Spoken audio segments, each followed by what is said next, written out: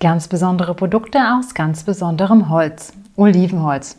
Es gibt Olivenbäume, in deren Schatten vielleicht Jesus ein Mittagsschläfchen gehalten hat. Es soll in Palästina, Griechenland, Kreta und Syrien Olivenbäume geben, die über 2000 Jahre alt sind. Damals waren die Olivenbäume noch nicht bis Italien und Spanien gelangt. Was genau es mit den Olivenbäumen auf sich hat und warum sie so optimal für deine Küche sind, erfährst du jetzt.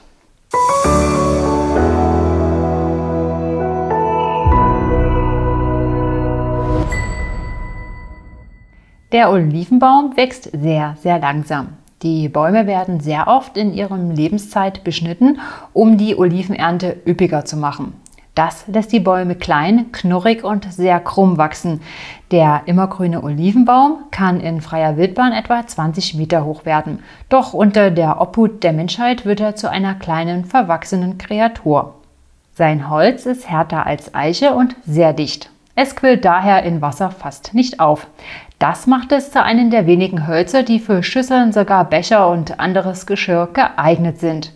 Olivenholz weist zudem auch eine hohe Alterungsbeständigkeit und einen anhaltenden Schutz vor Schädlingen auf, weil in dem dichten Holz Öle und antiseptische Wirkstoffe enthalten sind, die der Baum zum Eigenschutz bildet. Deshalb wird er auch so alt.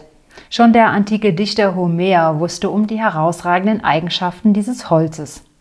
Olivenholz weist zudem eine wunderschöne, feine, strukturierte und kontrastreiche Maserung auf.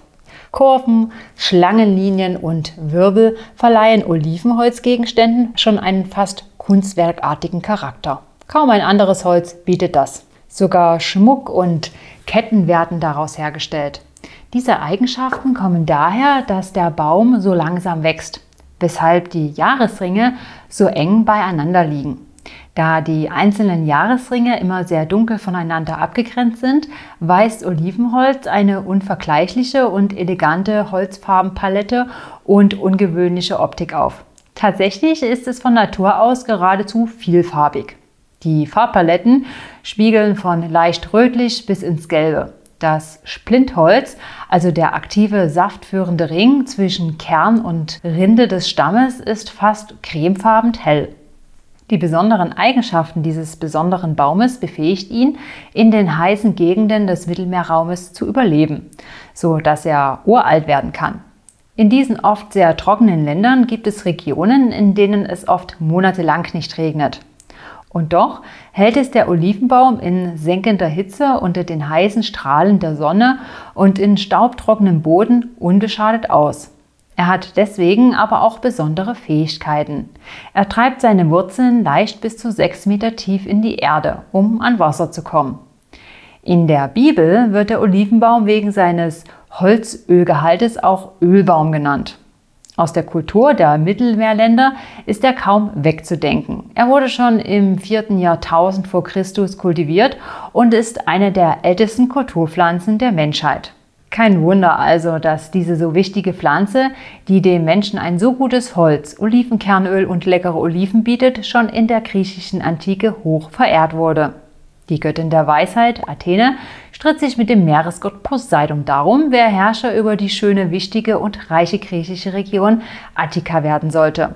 Göttervater Zeus beendete die Streitigkeit, indem er beschloss, dass derjenige, der dem Volke Attikas das schönste Geschenk mit unvergesslichem Wert gibt, die Herrschaft über Attika erhält.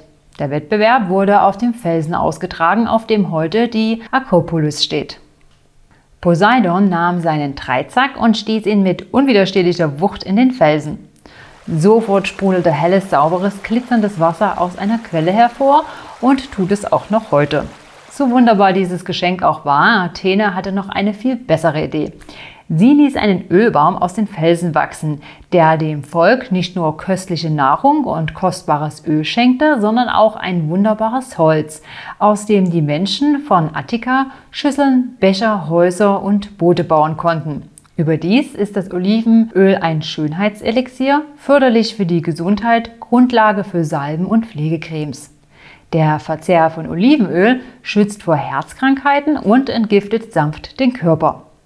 Damit stach Athene den Meeresgott Poseidon aus. Der Olivenbaum war als Geschenk der Götter von so hoher Bedeutung, dass die Sieger der damaligen Olympischen Spiele einen Kranz aus Olivenzweigen aufs Haupt gesetzt bekamen. Der Zweig des Ölbaums ist auch ein uraltes Symbol für Frieden, denn er bedeutet Glück, Wohlstand, Fruchtbarkeit und Gesundheit. Und das gibt es nur im Frieden.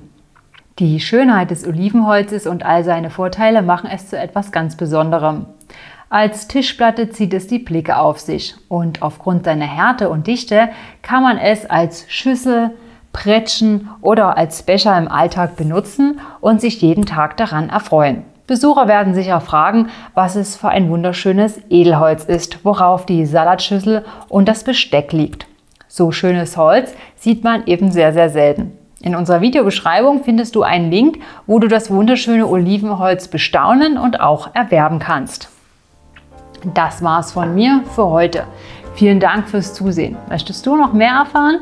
Schaue sehr gern auf unsere Webseite www.weltdergesundheit.tv. Dort findest du viele redaktionelle Beiträge. Gesundheit und ein erfülltes Leben sind kein Zufall. Du kannst dir so viel Gutes tun. Ich wünsche dir viel Erfolg in deiner Gesundheit. Bis zum nächsten Mal. Gesunder Lifestyle. Immer dienstags, immer pünktlich um 16 Uhr hier auf YouTube. Deine Jana.